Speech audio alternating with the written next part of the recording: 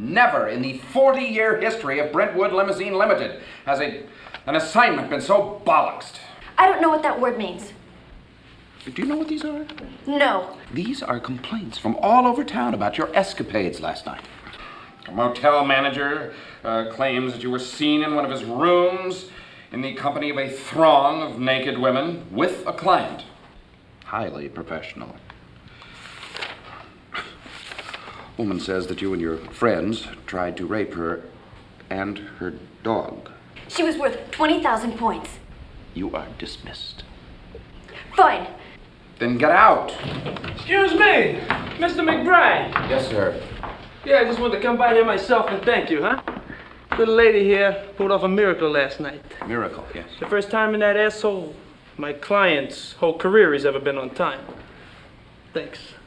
Sure. Yeah, my boss called up Mr. Witherspoon. He's gonna double his contract with you people. How nice. And, uh, here's something for you, huh?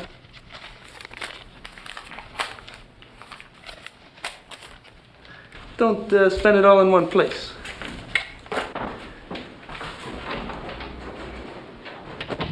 Don't get your nipples hard. You got a long way to go before you're hired.